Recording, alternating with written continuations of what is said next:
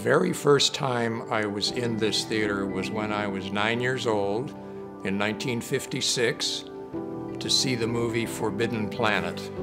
It was my birthday, and I remember looking all around me at the decor. Probably spent more time looking at the, at the building than I did at the movie.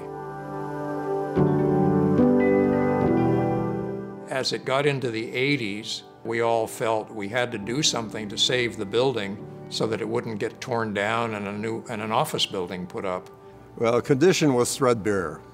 The, the roof leaked and the balcony uh, floor was rotten. You couldn't even walk on it. The mural uh, that goes across the Proscenium Arch was torn and gone, and there were rats in the theater. We didn't own the theater at that time. So we spent a million one to acquire the theater, uh, which we did in 1980. Yeah, it was bad shape, but it was a performing arts theater and it had 1,400 seats.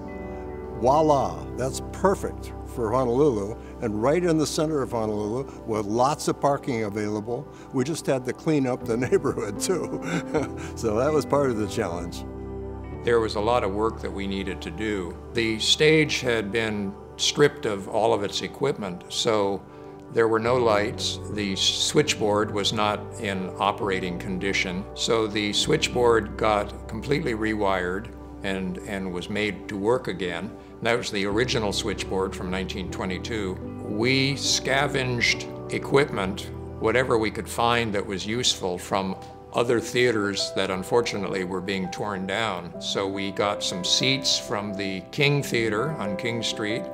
We got some stage lights from the Palace Theater on Keeaumoku and Beretania. We got some from the Roosevelt Theater that was on Maunakea Street. And we, we managed to actually equip the stage so that it had stage lights and uh, could be used by groups.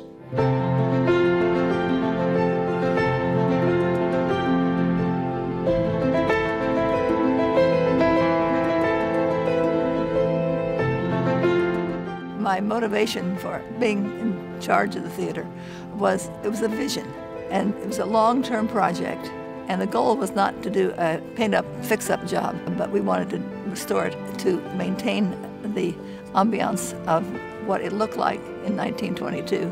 With a lot of patience and perseverance, I felt that we, we could succeed, and we did. On opening night in 1996, we had done it we had arrived.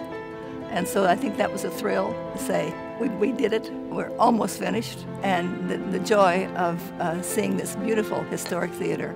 The chorus I sing in, the Sounds of Little Chorus and quartets, were the first act in the theater after it was restored.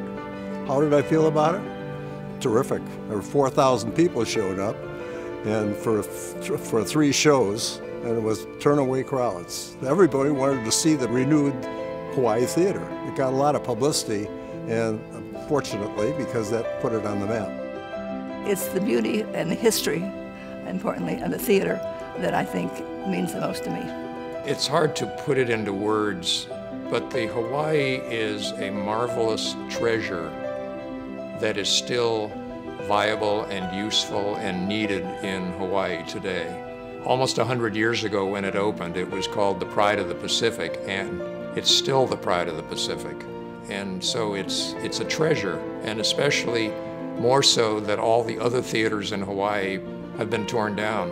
So if we could have saved one theater, I'm glad that it was the Hawaii Theatre.